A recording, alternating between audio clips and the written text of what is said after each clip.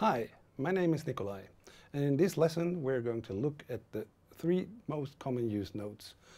First, it's the serial node. The serial node builds on top of the previous node, so all adjustments you do here are coming from what you did in the previous node. Then we have the parallel nodes. In the parallel node, you have two nodes in this case, and these uh, both together are then mixed together in the parallel mixer. So you get the combination of node 2 and node 4. Then you have the layer nodes. And in the layer nodes, you get like an extra video layer. So what you see in node 3 is exactly the same what is in node 1 before you do any adjustments. And then they are put together like in the layer mixer node as a combination. Say if you want to make like something like the look in Sin City or the look in Schindler's List where you have black and white color and one color coming out of the picture which is then in this case red. Let's have a look at how we do that. So here we have a picture with a lot of bright colors. So first of all I will just do a little bit of contrast so we get something to work with. So, okay, that looks nice. So what we do is we add a serial node by pressing Option and S. When we have the serial node, we then remove all the saturation.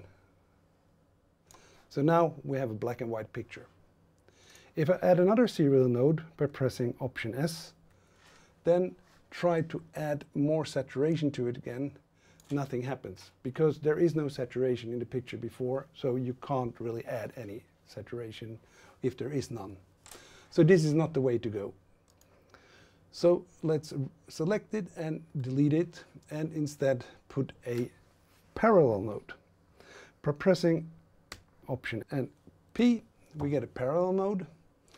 And if I here add the saturation to 100, then you see that we get the color back again. The parallel node works like this.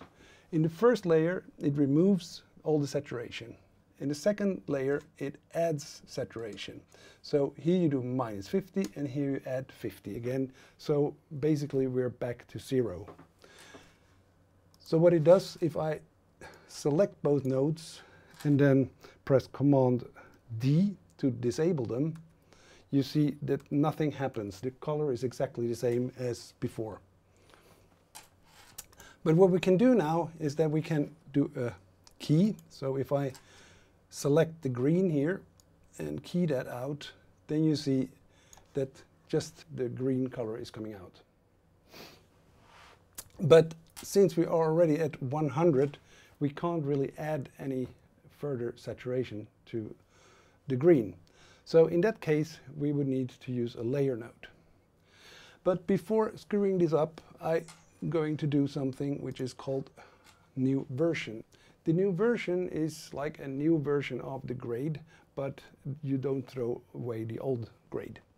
So what you can do is you uh, press Command Y and gives you new version. And then you can see here that it shows above the thumbnail that there are several squares around the number, and this means that that shot has several different grade versions. So let's do that. I go back to the shot, Command Y, and now I got another version, as you see here, and also around the number 6. And now there is a very nifty uh, function, so you don't have to build the whole tree again. You can right-click on the parallel node and morph it into a layer mixer node. So what that does, now it uh, changes this to a layer. And as you can see, the saturation is much higher now because now we have added 50 uh, on top of what we have in node 1. So if we go back to 50 by selecting the node, we're back to what the color was in node 1. So what we also can do, we can add several layer nodes and also parallel nodes. So if I add another layer node by pressing Option and L, then, as you can see, we have the full picture again from node 1, because now node number 4 is just like a video layer on top of the other ones. If I then do a key, and say on the orange, then we have both colors keyed out.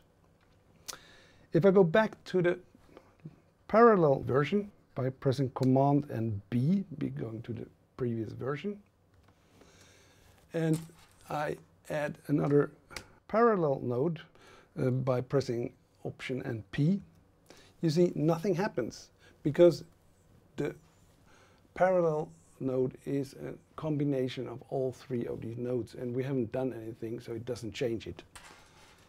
So here we again need to add full saturation to see the colors and then we can do a key and see that both colors are shown. I hope this helps you understand the serial, parallel and layer node and when to use what a little better when you do your own projects. Thank you very much.